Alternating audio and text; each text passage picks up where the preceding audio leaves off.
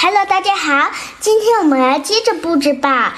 这个是我昨天布置的客厅，今天我们来布置爸爸妈妈的房间吧。这个呢，就是兔爸爸和兔妈妈的房间啦。你看，我们快点拿出来布置。拿出来啦，把书拿出来。好啦，我已经把它拿出来啦。这些呢都是要贴贴纸的，这是书。这个现在我已经把这些贴纸贴好了，你们看两本书，还有一些妈妈的化妆品哦。我们开始摆吧，我们先用这个做爸爸妈妈的房间吧，因为这个房间比较大一点。这是衣柜，我们打开看看，呜，还可以挂衣架呢。噔，挂好了，我们把它摆上吧。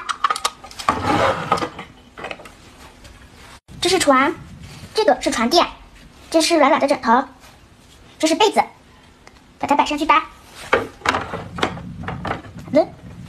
这是床旁边的柜子，先摆上去。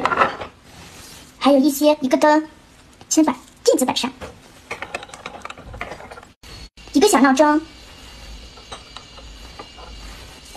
一个灯。这是妈妈的床头柜，还有一个这个垫着的。这是些花，插进去。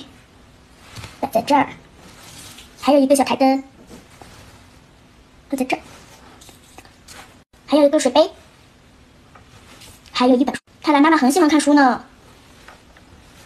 这个是梳妆台，还可以打开呢，这里也可以打开，放上去。